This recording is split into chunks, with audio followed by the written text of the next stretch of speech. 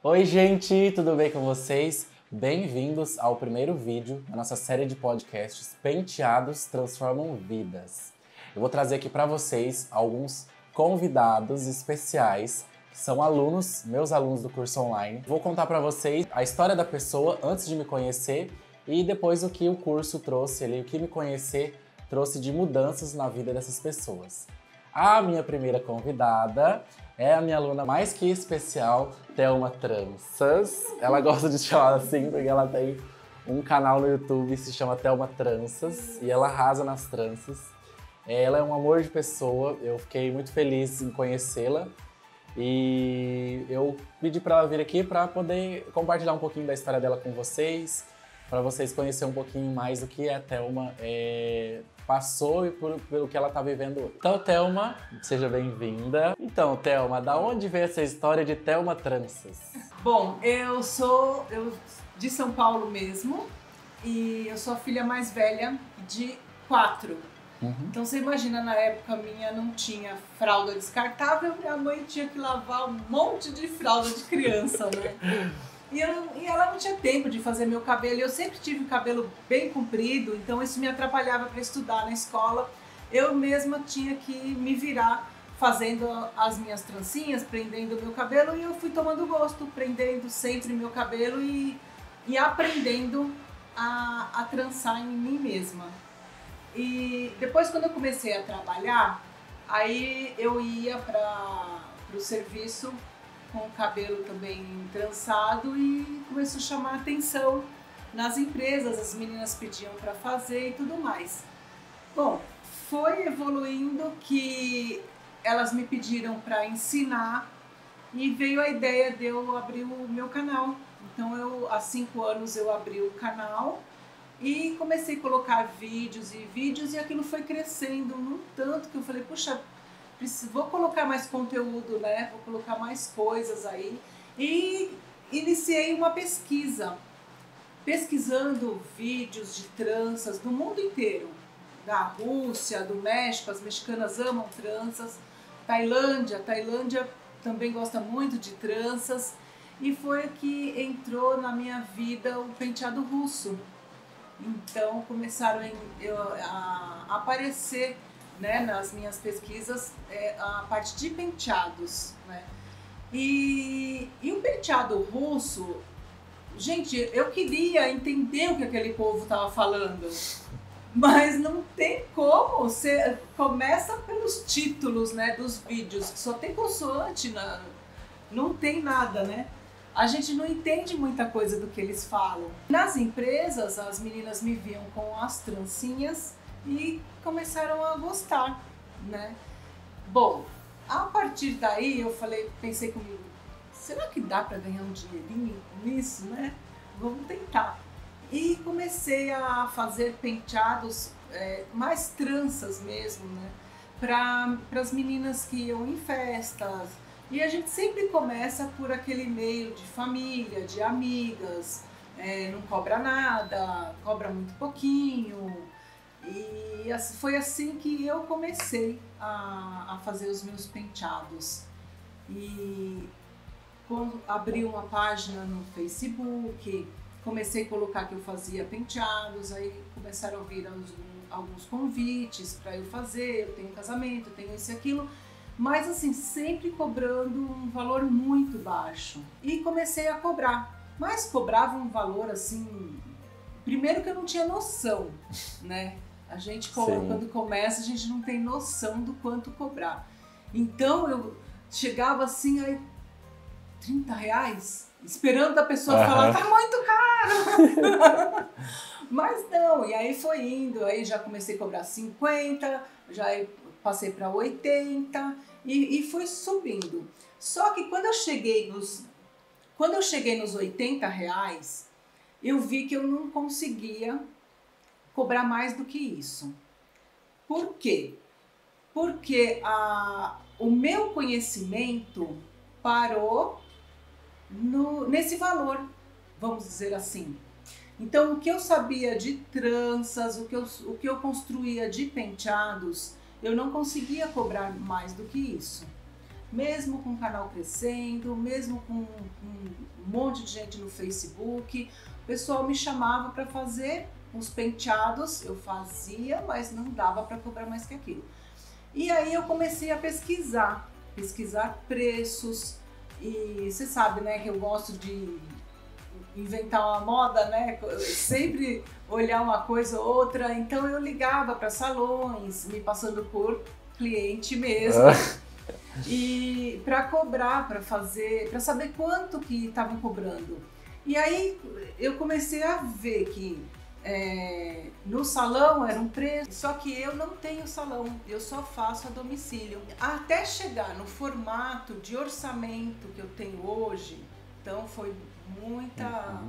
muita volta, né? Eu tive que perguntar para bastante gente. Então eu comecei a, a colher essas informações e a partir daí eu falei, bom, o meu preço está fora, eu posso cobrar mais. Uhum. Só que eu posso cobrar mais como? Se eu souber fazer mais, né? Onde uhum. eu estou, não consigo. Foi aí que eu comecei pelas redes sociais, através do Instagram, procurar um monte de coisa e caiu na minha frente um rapaz, um tal de Paulo, que eu falei, o que, que é isso? Da onde surgiu essa criatura? Com esses penteados maravilhosos que você faz, essas obras de arte. E eu me encantei. E, e eu fiquei mais admirada ainda porque eu entendia o que você falava, né? Eu consegui entender as suas explicações. Eu vi todos os seus vídeos do IGTV, seus vídeos do YouTube. Eu assisto tudo mais de uma vez. Ai, até fiquei emocionada agora.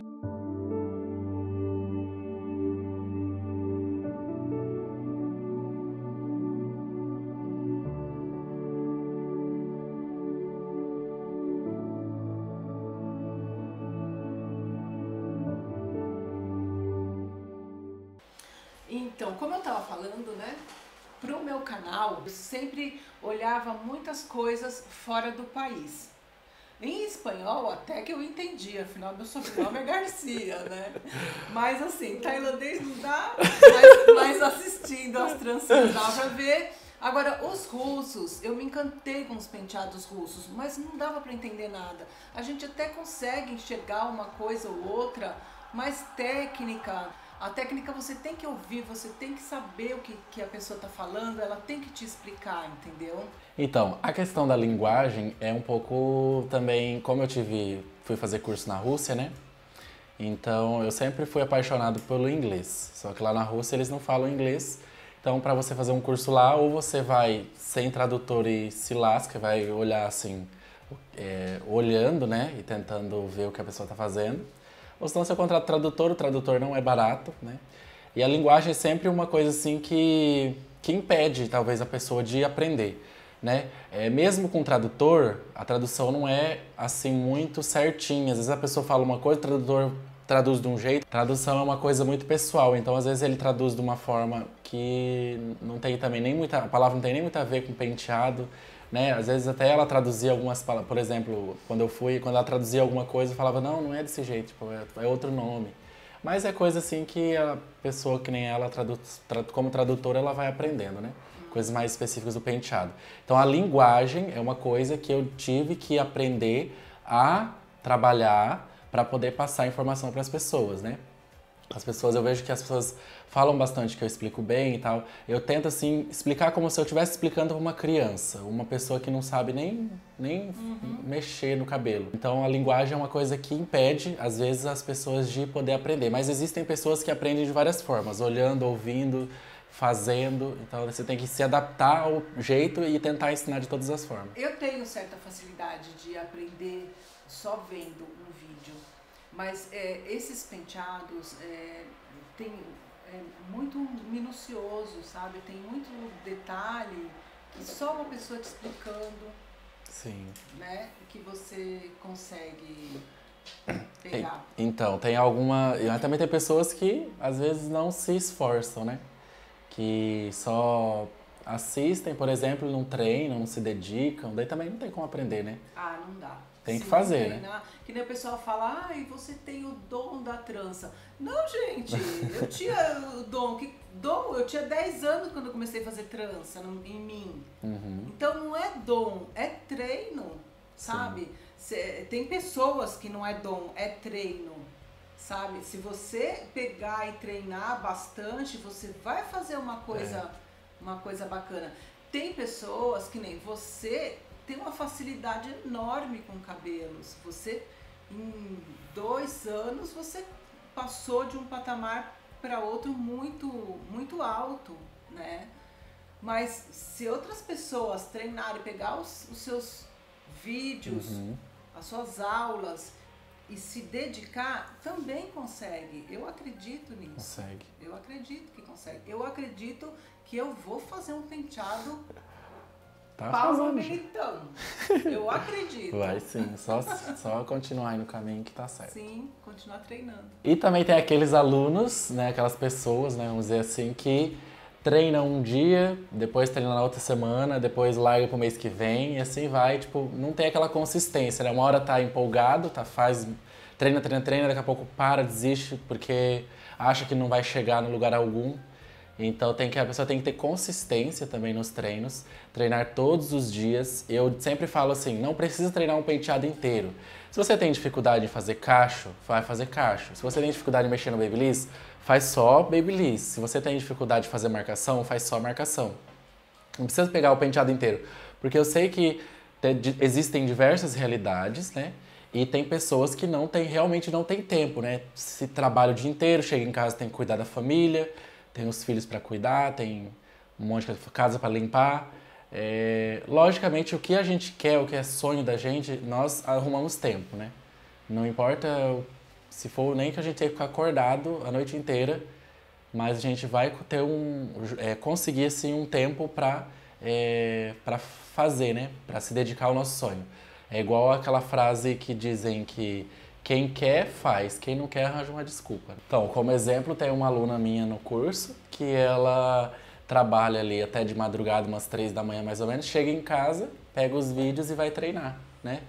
Então, assim, madrugada. é, ela poderia muito bem chegar em casa e dormir, né? E esperar que caia do céu a, a habilidade dela de, de fazer penteados. Isso é força e, de vontade, é. né? Bastante. Então, não, é, você tem que ter consistência, tem que faz, é, fazer certos tipos de sacrifícios, né? Para você, hoje em dia, quando você chegar onde você quer chegar, o que você o caminho que você passou, você não vai quase nem que não vai não vai estar tá doendo mais, porque esse sucesso, essa essa realização vai ser muito maior do que todo o sofrimento que você passou. Então vale a pena sofrer um pouco, treinar bastante para poder chegar ali onde você quer e comemorar, né? Você falou de, de sacrifício, de tudo. É, para mim, eu não vejo como um sacrifício, sabe? Para mim é, é muito prazeroso. Eu adoro catar as minhas bonecas e descabelar, achar que eu tô penteando. Mas eu tô treinando. É que eu falo assim, sacrifício, porque tem horas que, por exemplo, eu queria estar tá fazendo outra coisa. Daí chega aquela hora que tem que. Aí você vê, não, eu tenho que fazer. Tem que fazer porque isso. eu tenho meu sonho e eu Sim, tenho que realizar. Então. É. Mas nem sempre a gente vai. É porque nem sempre. Depende do tipo de pessoa. Tem gente que é muito. tem essa consistência, tem essa vontade sempre. E tem as pessoas como eu que eu sou de fases, né? Uma hora eu tô empolgado, uma hora eu não quero fazer mais, outra hora eu quero fazer outra coisa, aí eu uma hora eu quero fazer academia, daqui a pouco eu quero fazer penteado, daqui a pouco eu quero fazer cuidar de planta. Tá 100% focado no meu trabalho e nos penteados. Então é uma coisa que eu tenho que lutar contra, né? Então esse é o meu sacrifício. Focar e ter um foco consistente, né? Mas aí tá, outras pessoas podem ter outros tipos de sacrifícios, né? É prazeroso, eu gosto de fazer penteado. Mas às vezes, por exemplo, eu tenho que ensinar, eu gosto de ensinar, só que às vezes não é tão bom assim, né? Existe os alunos que têm mais dificuldade, a gente tem que ter um pouquinho mais de paciência. Eu tenho paciência, só que tem coisas assim que parece que é demais, né? Mas a gente tem que se manter ali firmes e pensar que a gente também já passou pelaquela dificuldade que aquele aluno está tendo, né? E colocar no lugar dele. Isso que eu tenho uma coisa também que eu tenho que aprender muito na vida ainda, para você poder entender, porque a partir do momento que você se coloca no lugar de outra pessoa, da outra pessoa, você sabe pelo que ela tá passando. E às vezes você pode até conectar com algo que você já passou na sua vida, né? Porque se eu tô hoje onde eu tô, eu nem por isso eu não eu já vim de do topo, né? Eu passei por toda essa fase que esse aluno meu tá tá vindo, né? E quando você decidiu comprar o curso online? Eu decidi comprar há pouco tempo. Na verdade, eu fiquei muito tempo assim assistindo lives. É, todas as suas lives eu vejo, os seus vídeos eu vejo. Por quê? Tem, o brasileiro tem essa, essa cultura, isso é normal aqui, essa cultura de, de pegar as coisas, tanto que as vendas pela internet né, ainda está em fase de crescimento, porque o pessoal gosta de ir lá, pegar, olhar, uhum. né, antes de comprar alguma coisa. E o curso online, para mim, era assim também. Eu precisava de curso presencial para estar tá perto, para pegar, para ver. Fiz os cursos presenciais, inclusive contigo, e até que eu resolvi. Quando saiu o Small Class de três penteados, falei, será, será, vou comprar. Aí eu comprei, porque é, a demora foi justamente por isso, né? A gente tem essa, esse receio mesmo de será que dá para aprender é. olhando na televisão, olhando no computador, olhando no celular, será que eu vou conseguir aprender? Mas vai, gente, aprende mesmo. É, olha, é batata. Porque eu comprei o Small Class, eu fiz a primeira aula. Se vocês vissem o penteado Thelma tranças e penteado meia boca que saiu. Ai, Gente, saiu um penteado assim. Não, não vou te dizer que saiu horroroso, porque eu já tinha alguma coisa, já Sim. tinha feito outros cursos, tudo. Mas saiu muito diferente do segundo, da segunda vez que eu fiz. E, e tudo, tudo online. Eu, eu fiquei admirada. Eu uhum. fiquei admirada com o resultado.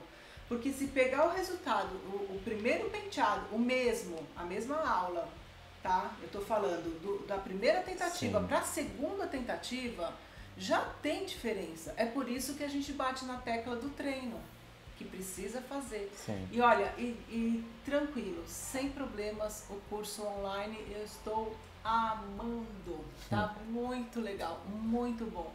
Tem eu tô uma, gostando bastante. Tem uma aluna minha também de um curso presencial que ela foi lá de Garibaldi, Rio Grande do Sul. Aí ela veio falar para mim que ela comprou o curso online, daí ela tava fazendo o rabo de cavalo. Aí ela primeira, aí para ela conseguir fazer, ela teve que pegar o vídeo, até coisas que eu falo, até eu falo para os alunos, quem tem muita dificuldade às vezes de ver e depois fazer, pega o vídeo, vai pausando e vai fazendo. Eu falo uma coisa, fez uma coisa nele, já vai lá e faz também, pausa o vídeo. Que tem lá o vídeo para pausar, pode voltar. Sim.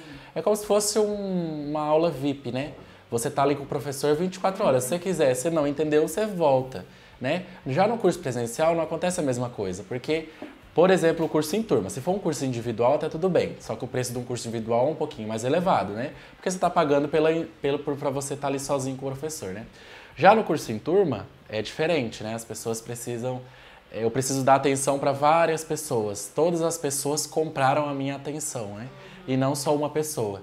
Então daí, é, ali a pessoa sim está com um professor para 20. Agora no curso online não, mesmo que tem vários, eu vendi para outras pessoas, você está comigo ali no particular, você pode voltar, assistir quantas vezes quiser e treinar suas dificuldades a hora que você quiser, está sempre disponível 24 horas, né? Tá disponível às 3 da manhã, tá disponível às 3 da tarde. Sim, essa parte é, é, é a que eu mais gostei. É, eu coloco, eu coloco no meu computador, Sim. né? Porque eu sou meio míope, meio cegueta, então eu, não, eu preciso de uma tela maior. Então eu coloco no computador, eu coloco a boneca na minha frente e eu vou fazendo, eu assisto uma primeira parte, ah, fez as repartições de orelha a orelha. Pausei o vídeo, vou lá, faço a repartição uhum. de orelha a orelha. Isso na primeira vez. Na segunda vez, que eu fiz, eu já consegui assistir uma extensão maior do Sim. vídeo antes de pausar. E aí eu fui lá na minha boneca e fiz até uhum. aquele ponto. E e a terceira vez, sabe? E, e assim por diante. Até eu conseguir fazer o penteado sem olhar mais o vídeo. Sim. Isso é que é legal do curso online. Você consegue é, ter as informações na hora que você precisa, na hora que você deseja, na hora que você quer. Né? Uhum. Né? Essa que é a, é a, é a grande sacada do curso é. online. Se você tivesse conhecido o meu método antes, comprado o meu curso antes, você acha que você estaria além do que você está hoje? Com certeza, com toda certeza. Porque a alteração de, eh, no conhecimento que eu tive eu comprei faz pouco tempo o curso. Eu comprei o Small Class, que são três penteados. Aquela coisa, né, de ter medo de, de comprar um curso online, e, e, ah, eu vou gastar tanto dinheiro, será que eu vou aprender? Apareceu o Small Class, três penteados, falei, vou pegar. Eu fiz ah, até agora a primeira aula só, porque eu sou, é o meu jeito de aprender, eu sou metódica. Eu quero fazer bem esse penteado antes de passar para o próximo, né? Tem gente que gosta de, de assistir todas as aulas, não, o meu jeito é assim.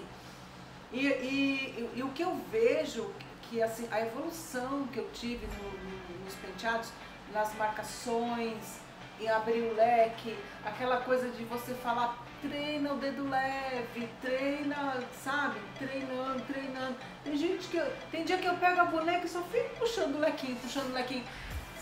E isto tudo veio da, do curso online.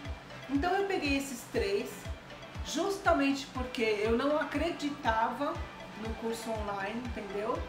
E tô assim, tô adorando, porque a, a, a evolução que eu tô tendo nos penteados é uma coisa assim fora do normal. É muito legal de ver, é muito gostoso, sabe? A gente, a gente evoluir e, e enxergar aquela evolução na frente da gente. Então, se você também, que é como eu, que não que tem medo do, do curso online, o Paulo tem o um curso de um penteado. Pega um penteado, né?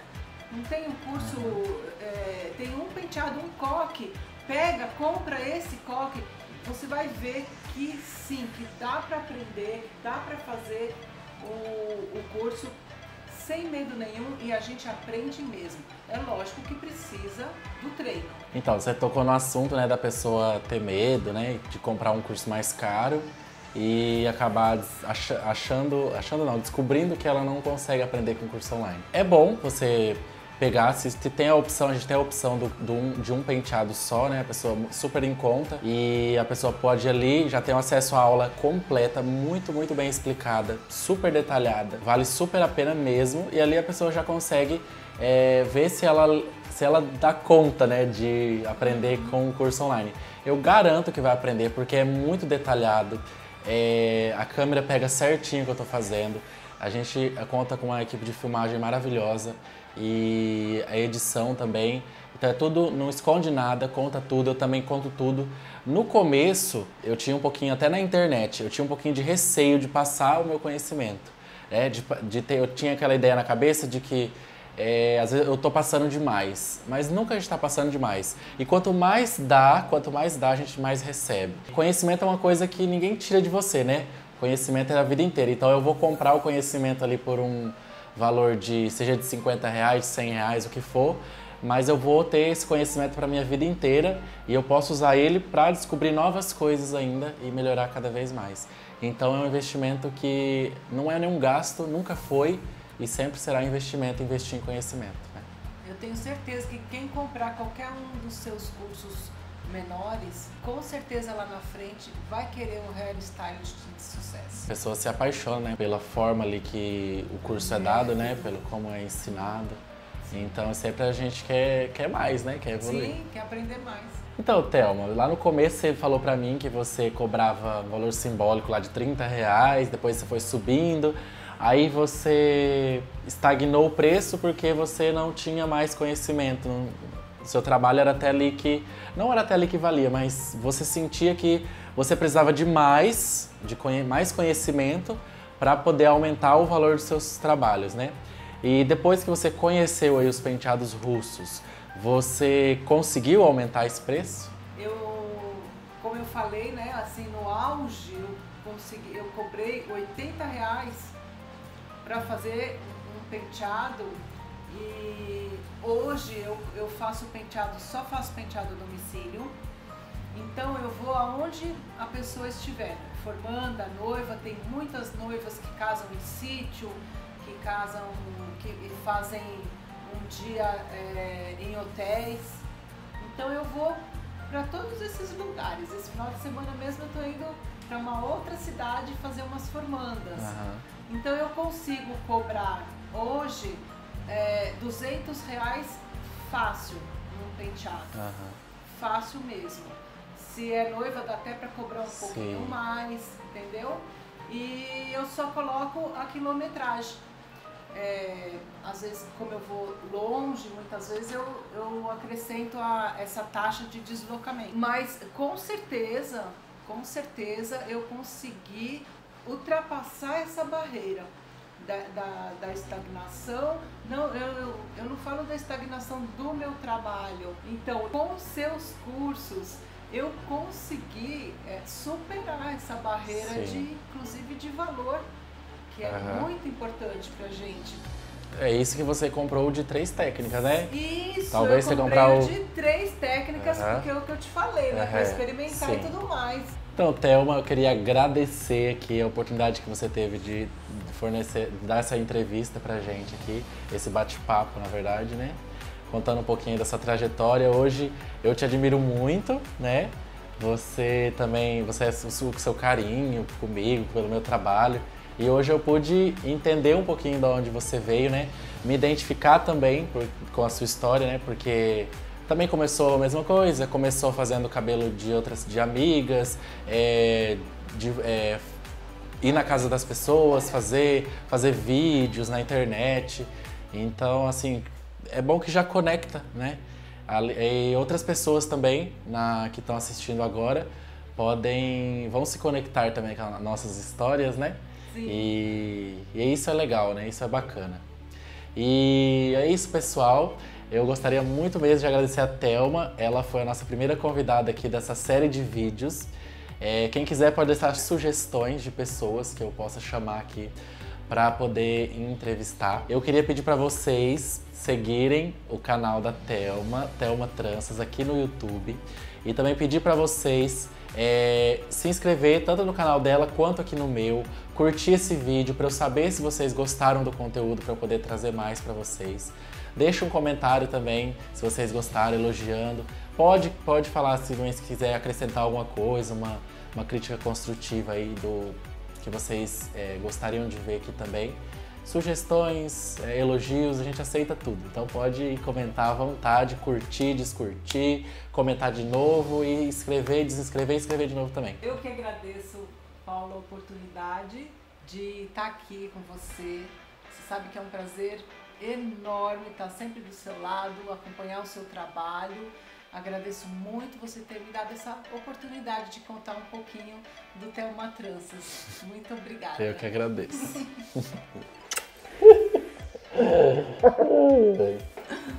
obrigada, de verdade. Obrigado, pessoal. Um beijo e fiquem com Deus.